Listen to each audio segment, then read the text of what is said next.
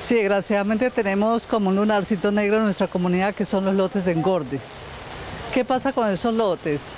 Eh, están ubicados, mira, hace más de 18 años, porque yo vivo aquí en Pereira hace 20 años. Eh, no hay una ley que nos cobija a nosotros como propietarios, como comunidad. Y tampoco hay una ley que los obligue a ellos a tomar una decisión con estos lotes de encerramiento o de construirlos. Entonces, la verdad que la falta de cultura ciudadana también está afectando. ¿Por qué? Porque todo el mundo saca las basuras, los escombros a deshoras y esto nos convierte en foco de inseguridad, en foco de ratones, de muchas cosas que no le convienen a la comunidad. ¿Ustedes de pronto ya han hecho alguna petición frente a este tema con las autoridades y darles a conocer realmente las implicaciones de un lote ahí abandonado? Claro que lo hemos hecho. Y la respuesta a ello es que hay una ley que Secretaría de Gobierno la tiene que aplicar, pero desgraciadamente nosotros desconocemos cuál es ese tipo de ley porque nunca se aplica.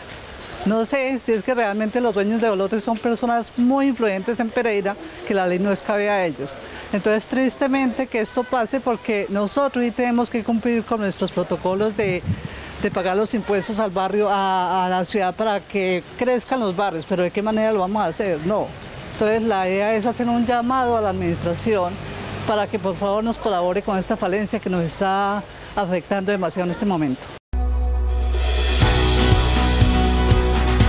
Este 3 de septiembre, Pereira se prepara para vivir una experiencia a cielo abierto bajo la luna y las estrellas. Llega el primer autocine con alma a la ciudad. Un escape cultural, entretenido y seguro. De lunes a domingo en Expo Futuro podrás disfrutar de las mejores películas en la comodidad de tu carro. Compra tu boleta a través de la página web www.cámarapereira.org.co. Consulta cartelera, horarios y protocolos de bioseguridad. Te esperamos para que hagas parte de esta nueva era de cine con alma. Invita a Cámara de Comercio de Pereira.